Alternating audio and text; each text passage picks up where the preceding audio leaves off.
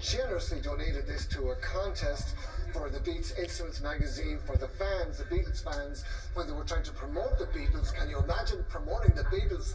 That was when they were just starting to become famous. But Thompson, oblivious as to the future success of the group, turned it down, opting for a cash prize of around a hundred quid instead. The guitar he could have owned has just sold at auction for over a million pounds.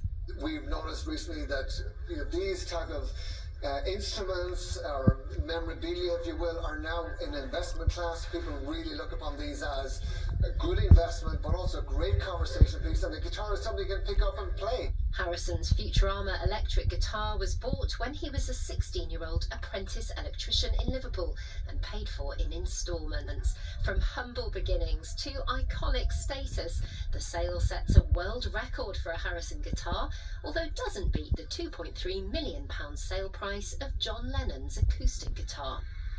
So, advice for AJ Thompson from Saltdean over his life changing decision. There's no point in calling for help or believing in yesterday. The only thing to do, AJ, is let it be. A reminder of our top stories.